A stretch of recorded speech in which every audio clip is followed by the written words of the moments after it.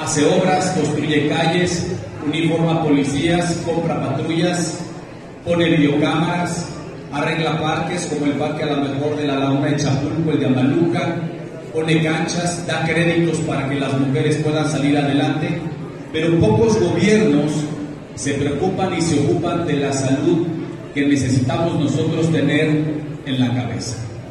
Por ejemplo, si yo estoy jugando fútbol o básquetbol y yo estoy pensando, es que, es que no la voy a meter, es que seguramente me voy a equivocar, es que no voy a meter el gol, es que no voy a meter la canasta. ¿Qué es lo que va a suceder, amigas y amigos?